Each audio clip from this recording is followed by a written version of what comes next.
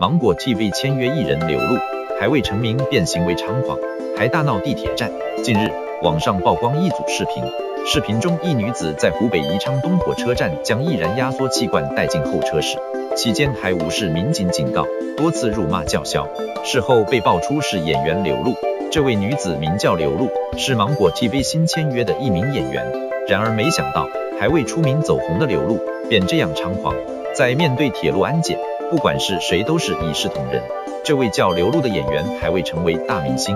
便有如此的行为，还被曝光在网络上了，前路堪忧啊！随后在今早，刘露发文道歉，称自己内心无比煎熬、无比后悔、无比羞愧，向办案民警、车站工作人员及所有关心这件事的朋友们真诚的道歉，将深刻反省自己。